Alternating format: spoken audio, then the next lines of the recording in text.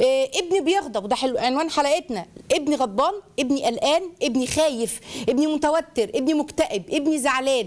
إزاي نفهم أولادنا وقت الحالات ال- ال- المشاعرية ديت وقت شعورهم بالأمر ونتصرف إزاي وايه اللي أقوله بحيث إن أنا أكسب أولادي ويبقى بنت إصلاح ويبقى عندي يعني كده نقطة في رصيد قلبي وقلبهم ومشاعرنا. ما أخسرهمش. أنا عايزة في تربية أولادي ما أخسرهمش. الحلقة النهارده بنبه تاني حلقة مهمة جدا.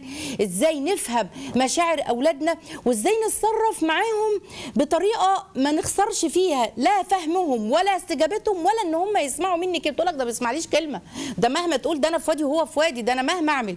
لكن تعالوا نتعلم النهارده. النهارده إن شاء الله إن شاء الله عملنا لكم بقى يعني عارفة تدريبات وتردوا عليها وورق وقلم كده عشان هيبقى في ورش عمل. هحاول قدر المستطاع إن إحنا نعملها على الشاشة. يبقى الخط بينا كده إيه بعمل لكم eye contact online فخلونا إيه إيه مع بعض نبتدي كده بسم الله ونقول إن لو عاوز ابنك يتصرف صح وتبقى يعني مشاعره ديت أنت فاهمها لازم الأول عشان ابنك يتصرف صح لازم تكون مشاعره صحيحه عشان لو مشاعره صحيحه إيه اللي هيحصل؟ هتبقى سلوكه صحيح. لازم الأب والأم يفهموا مشاعر الأولاد. غضب قلق ارتباك هنفسر الكلام ده كله النهارده. لو كانت مشاعرهم صحيحة وفاهمينها صح والمشاعر يعني بتوصف فعلا الحالة الشعورية اللي فيهم هتلاقي سلوكهم بقى صح. طبيعي خلصت الحلقة. مشاعر صحيحة سلوك صحيح. انت تعمل إيه؟ افهم وتقبل. هنتعلم بقى النهارده إزاي المنظومة الثلاثية دي تبقى مع بعض وتديني أعلى النتائج فوق في المية. المهم إن إحنا ننفذ ونحاول إن إحنا فعلا ننوي كده نية خالصة لله. يا رب إحنا بنسمع الحلقة دي وهنسمع الكلام ده وهنقول التدريبات مع بعض ونتعلمها ونتدربوا عليها بغية إن إحنا نسأل عن الرعية فنكون فعلا وفينا حقها وفي نفس الوقت أنا عايزة أولادي صالحين هو ده المستهدف. وعايزة أولادي بنفسية سوية. ما إحناش عايزاهم مضطربين. ولا بصوا ده أنا هقول لكم من الحاجات الكارثة جدا لو ما عملناش الأداة بتاعت النهارده ديت وما اتبعناش الأسلوب التربوي بتاع النهارده ده بيقعدوا بقى يتراكموا. يتراكموا يتراكموا وبعدين يقوم حاجة صغيرة كده تقوم جاي بصوا الكون كله متآمر ضدي. أبويا ومش امي دول دول مش أبويا وأمي الحقيقيين. أنا كنت أستحق أب وأم أنا بكرهكم. وتبتدي المشاعر العدوانية. المشكلة يا جماعة إن الأب أو الأم ما بيتقبلوش مشاعر أولادهم. دي حقيقة. حقيقة وهقول لكم إزاي. وكلنا معظمنا إلى ما رحم ربي بنقع فيها. وكلنا أنا أول واحدة وقعت في الموضوع دوت وأنا وأنا عندي بقى الإيه يعني؟ الموقف يحصل هوب على طول أدي الحل كذا. طب مش عاجبك ده؟ خد ده. لا في خطوة قبل ده. تعالوا نتعلمها مع بعض النهارده. بصوا بحب دايما ندي أمثلة عشان تبقى الدنيا جميلة كده مع بعض. ماما أنا تعبان. هي بقى تعبان إيه يا ابني؟ ده أنت نايم طول النهار 12 ساعة ولسه صاحي. إيه ده؟ يقول لا لا والله العظيم أنا تعبان أنتوا مش حاسين بيا. أنتوا عالم يعني هتفضل كده. أنا تعبان ومش قادر. هي عملت إيه؟ هي أنكرت عليه المشاعر. بالله عليكم خلوا بالكم اللي أنا بقوله النهارده. أنكرت المشاعر. طب الصح؟ كنت أتقبل المشاعر. انت تعبان وحاسس بمشاعر أكيد تعبان. إيه اللي حصل؟ أكيد حلمت. في إيه اللي حصل؟ احكي لي كده إيه اللي أنت تعبان؟ تعبان من إيه؟ يبقى نشوف سبب التعب. آه يمكن خملان كسلان عصب في عصب وجعك كده وحاسس بتعبان راس إيه؟ تحاور وتقبل المشاعر. ده جزء. خطورة اسمعوا. خطورة رفض مشاعر أولادنا بتبقى كبيرة جدا جدا وأثرها سلبي جدا جدا عليهم. ليه؟ هم كمان بص هيحصل لهم إيه؟ حاجتين. أول حاجة لو أنا رفضت مشاعره أو استهزأت بيها أو أنكرتها إيه ده؟ مش من حقك إنك تزعق. مش من حقك إنك تغضب. بص بيعمل إيه؟ بشوش فكره. يقول إيه ده؟ هو أنا صحيح مش تعبان؟ هو أنا صحيح مش حاسس بالأحاسيس؟ أمال اللي أنا حاسه ده إيه؟ طب إيه اللي أنا فيه ده؟ تشويش الأفكار. والأمر الثاني الخطر لما بيرفض الوالدين مشاعر أولادهم بص بيعودوهم على إيه؟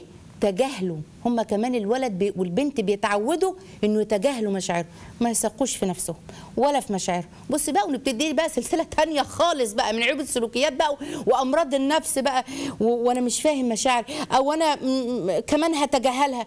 متألمة هتجاهل الألم. مجروحة مش عارفة. غضبانة هتجاهل. ويبقى إنسان إيه؟ يعمل كده. زي ما بعمل لكم كده لو طول توطي كمان كده أهو خالص. ويبقى بعيد خايف من كل مسبب خارجي بسبب إن أنا ما تقبلتش خلوا بالكم. عشان كده بقول لكم النهارده حلقة مهمة جدا جدا. ماما أنا حران. اوعى تخلع الجاكيت. بص الجو برد. بص وشوف. ماما أنا زهقت من الشرح بتاع الفيديو ده. ده وحش. عماله حاطه لي فيديو شرح وحش. تقول له ده جميل. ده بص كلامه سهل. إزاي انت بقى فتح مخ. فتح مخك خليك تفهم. آه. طب أقعد كمل الشرح. بص الواد يحصل إيه؟ بيفقد ثقته. خلاص. أنا أنا أنا حاسس إن أنا زهقان. في ملل؟ لا ما فيش ملل. بنشوش على أفكارهم. بدل ما اساعدهم وإن إحنا نصدق مشاعرهم ونحط نفسنا مكانهم ونشوف هم عايزين إيه بالظبط لا إحنا ككبار كمان ما مش حاسين بالمشاعر دي. ولا هم ولا ولا هم في دماغنا أصلا المشاعر دي حقيقية. ده أنا بنكرها عليهم. بصي بدل ما نتجاهل أو ننكر عليهم المشاعر نقول مثلا إيه في الموقف بتاع ماما ده نقول إيه؟ ماما أنا تعبان أرد آه أنت حاسس بتعب؟ مع إنك نمت ساعات طويلة بس قول لي حاسس بتعب إزاي؟ ها همدان مثلا ولا إيه؟ إيه اللي بيحصل؟ تفهمت مشاعره تفهمت. وبعدين نشوف هنعمل إيه. إحنا ما بنعملش كده. إحنا على طول بنروح ندي الحلول على طول. وكذا وكذا وكذا. بلغي عضلة التفكير. بلغي تقبله للمشاعر اللي هو حاسس بيها. بس ما نكرش عليه إحساسه ابدا. الرد مثلا على موقف ماما أنا حران. أنا جايبة لكم الموقف في الرد ونعمل إيه؟ عشان بصوا مش عايزة حجج بقى. مش عايزة حجج الحلقات دي يا رب تبقى في ميزان حسناتنا وحسناتكم وتبقى شاهد لينا مش علينا. ماما أنا حران عاوز اخلع الجاكيت. حبيبي أنا عن نفسي متكتكة من البرد. بس بص أنت حران ديت. طب تعالى إيه؟ أول جملة. خلي بالك دي أول جملة لازم تتقال. ما نكرش عليه إنك حران. إزاي يا ابني؟ ده الجو مش عارفة كام. افرضي هو جسمه حران. ولا وكمان بقى إيه؟ أفهمه لما أنا أقول له أنا متكتكة والدنيا برد طب إيه؟ بعد كده ناخد الحلول. أنا فهمت إن أنت حران. ماشي. ده يوصل له إيه؟ خلي بالك. إن في أحاسيس مختلفة ومش شرط ابدا إن كل الناس بتشعر بنفس الإحساس اللي أنت حاسه بالحر اللي أنت فيه ده ابدا ده في ناس متكتكة. ودي فيها اختلاف. النقطة دي مهمة جدا جدا. إن الناس مختلفة في اختلاف في مشاعرها. لما يتعلمها وهو صغير مش هضطر أعالج فيها لما يكبر. ولما بقى عارفة يتهم غيرهم بقى. ده مش حاسين بيا ده ناس عديمة الإحساس. أو لما يجي يزعلوا مثلا ويلاقوا حد جه في المشاعر أو مش مش حاسس بنفسه أو مش متأثر بيكتئبوا. وبيمرضوا. يقول لك لا لا لا لا لا, لا. ده ما مش عمرهم ما هيفضلوا. ده ناس قاسية. ده أنا اللي مختلف عن الكون. لا ده هيكونوا فاهمين من صغرهم إن في حاجة اسمها واحد يحس بمشاعر والتاني ينفع يختلف معاه في المشاعر وفي الأحاسيس دي. كل واحد مختلف عن التاني. وده شيء طبيعي. وبعدين بقى تعالوا بقى إيه؟ ده تفهمت. تعالوا بقى الخطوة اللي بعديها. نعمل إيه؟ نتفاوض. طب نفتح السوسته ها؟ يبقى الحر عمل شوية. طب نجرب كم كده تخلعه ونشوف إيه هتحس بالساعة ولا إيه الوضع؟ في بدائل تبقى دي خطوات لاحقة. المهم قبلها إيه؟ أفهم وأقبل مشاعر ابني وما انكرهاش ابدا. هتيجي بقى أم بص بقى فزلوكة جميلة كده عجباني الأمهات اللي بيقعدوا يفكروا دول. تقول لك إيه؟ دول صغيرين. دول مش فاهمين حاجة ومش عارفين أصلا مصلحتهم. وبعدين لو سمعت كلامه هيتعب ويعيا ونصرف علاج قد كده. وبعدين كذا. لا لا. كل اللي انت بتقوليه من حلول أحلها له أو أقنعه بيها دي خطوة لاحقة لتفهم وقبول المشاعر والأحاسيس بتاعتهم. يبقى نفهم الأول وبعدين نقنعهم ونشوف بقى الأساليب بقى إزاي نتعلم تدرج الأمور. آه، أديله مثلا بدائل الخطوات بتاعة العلاج السلوكي اللي إحنا قلناها في أدوات التربية ال 200 حلقة اللي فاتوا. كل ده رد فعل لاحق. أول حاجة نكون إيه؟ متفقين إن أنا متقبل مشاعر. في مشكلة تانية عايزة أتكلم فيها.